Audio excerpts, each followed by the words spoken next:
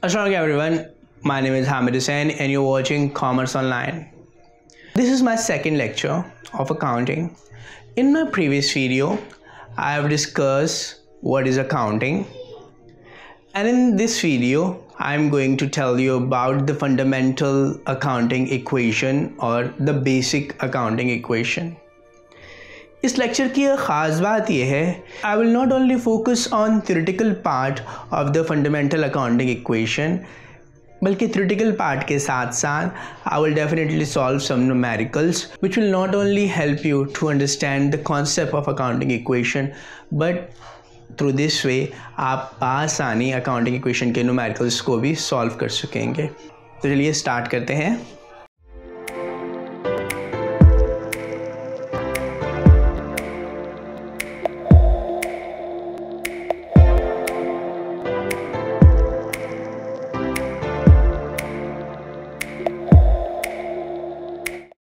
Basic accounting equation और fundamental accounting equation के जो कंपोनेंट्स हैं हमारे पास that are assets is equals to liabilities plus owner's equity और capital before going towards the numerical part, let me tell you what assets are and what are liability and what is owners equity, so that आपको बसानी समझ में आ सके कि assets क्या होते हैं. But remember, हम यहाँ पर ये नहीं डिस्कस करेंगे कि assets कौन कौन से होते हैं एसेट्स की टाइप्स क्या हैं? Our main focus is to understand what is accounting equation and how to solve numericals of accounting equation तो when you talk about assets so assets are probable future economic benefits obtained or controlled by a particular entity as a result of past transactions or events. तो अगर हम बात करते हैं assets की तो probable future economic benefits किसी entity entity means किसी ऑर्गेनाइजेशन के पास हों और उनसे ऑर्गेनाइजेशन को फ्यूचर में फ़ायदा हो रहा हो तो ये हमारे पास एसेट्स कहलाते हैं। आसान अल्फाज में अगर मैं एसेट्स को बयान करूँ तो वट एवर एन एंटिटी और an organization a company has वो उसके एसेट्स कहलाते हैं जिनसे उसे फ्यूचर में फ़ायदा हो रहा हो। यहाँ पर मैं डीपली डिस्कस नहीं करूँगा कि एसेट्स क्या होते हैं, उसकी काइंड्स क्या हैं। यहाँ पर मेरा फोकस अकाउंटिंग इक्वेशन है। For the accounting equation purpose हम सिर्फ़ यहाँ एसिड्स की डेफिनेशन को स्टडी कर रहे हैं। तो आसान अल्फाज में, इन नट शेल में ये कह सकता हूँ कि जो भी चीज़ें एक ऑर्गेनाइजेशन के पास हों, जिसे वो कैश में कन्वर्ट कर सकती है वो एसिड्स कहलाएगा। देन नेक्स्ट पार्ट हमारे पास लाइबिलिटीज़ है। तो liabilities are probable future sacrifices of economic benefits arising from present obligations of a particular entity to transfer assets. तो आसान अल्फाज में अगर मैं कहूँ तो जो भी ऑब्लिगेशंस एक कंपनी के ऊपर होती हैं, जो भी जिम्मेदारियाँ एक कंपनी के ऊपर होती हैं, वो तमाम चीज़ें, वो तमाम एलिमेंट्स वो तमाम अकाउंट्स लाइबिलिटी के अकाउंट्स होते हैं। यानी कंपनी अगर उधार पर कोई सामान ख़रीद रही है लाइबिलिटी में आएगा। कंपनी अगर बैंक से लोन ले रही है लाइबिलिटी में आएगा। कंपनी कोई एसेट अगर उधार पर ख़रीद रही है तो ये भी लाइबिलिटी में आएगा। कंपनी ने कोई यूटिलिटी यूज़ की है और उसकी पेमेंट फ्यूचर में करेगी तो ये भी लाइबिलिटी में आएगा। तो इन अ नट शेल हम ये कह सकते हैं कि कंपनी ने जितनी भी फ्यूचर में पेमेंट्स करनी है, वो तमाम उसकी एबिलिटीज़ में आएगा। And for the last part that is owner's equity and what is owner's equity तो basically when we talk about owners equity so the residual interest, the interest in assets of an owner is known as owner's equity यानी आसान अल्फाज में अगर मैं liabilities को assets में से डिडक्ट कर दूँ माइनस कर दूँ तो whatever we have is the portion और द इन्वेस्टमेंट ऑफ़ ऑनर तो अब आपको बासानी समझ में भी आ गया होगा कि भाई एसेट्स क्या हैं? जो भी एक कंपनी के पास होते हैं, वो एसेट्स कहलाते हैं। लाइबिलिटीज़ क्या हैं, जो पेमेंट्स कंपनी ने फ्यूचर में करनी है, वो लाइबिलिटीज़ है। और अगर मैं लाइबिलिटीज़ को एसेट्स में से माइनस कर दूँ तो हमें पता चल जाएगा कि ऑनर्स इक्विटी क्या है। दैट मीन्स जो कारोबार के जो ऑनर्स हैं, उन्होंने कारोबार में कितनी इन्वेस्टमेंट की है, उनका कारोबार में इंटरेस्ट कितना है, उनका कारोबार में पोषण कितना है।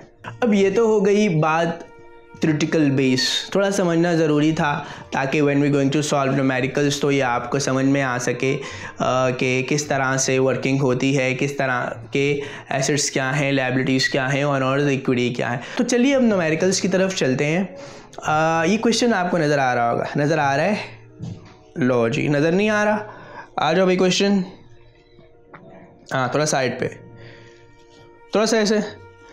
हाँ थोड़ा साइड पे। थोड़ा सा बड़ा हो जाओ। शाबाश वेरी गुड चलें जी, सर की बात है, सब मानेंगे। अच्छा जी तो पहला क्वेश्चन है।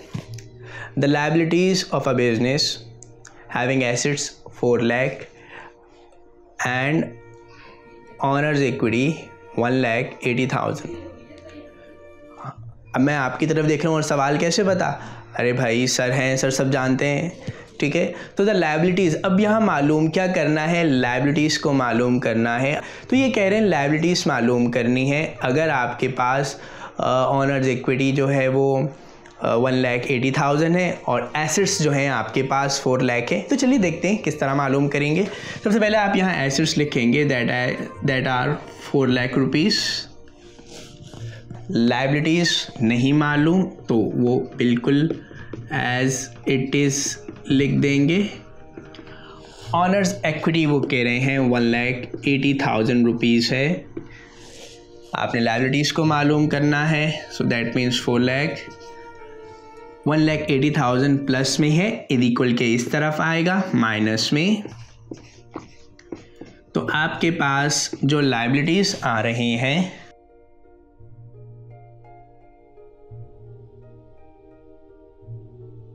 that is 2 lakh 20000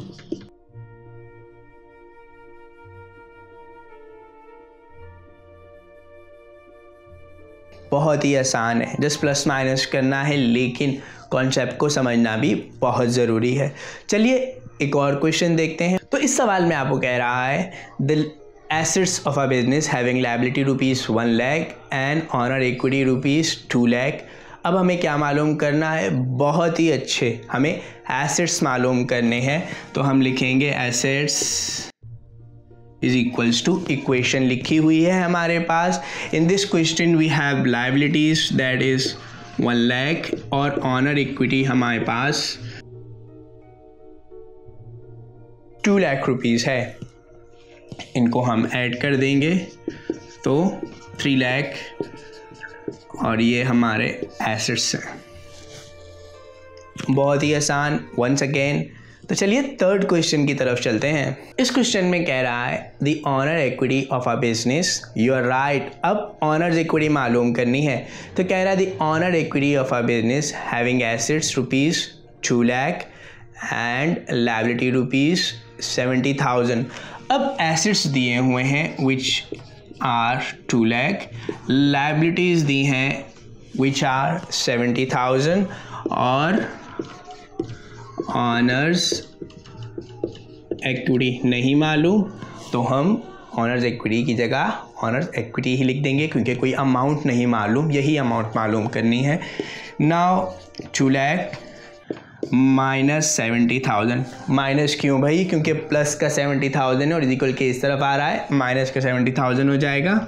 और यहाँ पर हमारे पास बचता है ऑनर्स एक्विटी तो अब हमारे पास आंसर आ रहा है one lakh thirty thousand owner's equity आप तो कहेंगे, सर, ये तो बहुत ही आसान है। अरे भाई, अब आपको आ गया है, इसलिए ये बहुत ही आसान है। कुछ कॉम्प्लिकेटेड क्वेश्चंस करें, एक एक जस्ट एक। चलिए करते हैं। The owner equity of a business having asset rupees ten lakh and liabilities are forty percent of assets तो यहाँ इस सवाल में आपको एसेट्स दिए गए हैं that is ten lakh rupees liabilities की परसेंटेज दी गई है दैट इज़ फोर्टी परसेंट तो हमें उस लाइबिलिटीज़ की परसेंटेज को पहले कैलकुलेट करना होगा with the help of percentage and asset amount तो यहाँ पर हमें बताया जा रहा है कि एसेट है टेन लाख रुपीज़ और लाइबिलिटीज़ है फोर्टी परसेंट तो अब आपके पास आंसर आ रहा है फोर लाख रुपीज़ ये हमारी लाइबिलिटीज़ हैं। आसान कर दिया? चलिए एसेट्स मैंने बताया ten lakh liabilities 40% of assets that are 4 lakh. And owners equity नहीं पता. तो वन लैख तो ten lakh minus four lakh plus का है इज़ इक्वल के. इस तरफ़ आ जाएगा. एंड देन ऑनर्स एक्विटी तो that will be six lakh ये आपके owner's equity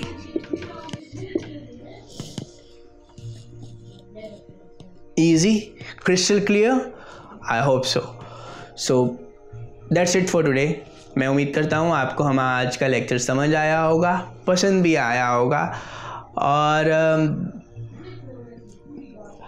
अपनी नेक्स्ट क्लास में हम ग्रॉस प्रॉफिट के हवाले से पढ़ेंगे कॉस्ट ऑफ़ गुड सोल्ड के हवाले से पढ़ेंगे, उनकी इक्वेशंस को सॉल्व करेंगे एंड डेफिनेटली रेवेन्यू और एक्सपेंस को भी डिटेल में समझेंगे।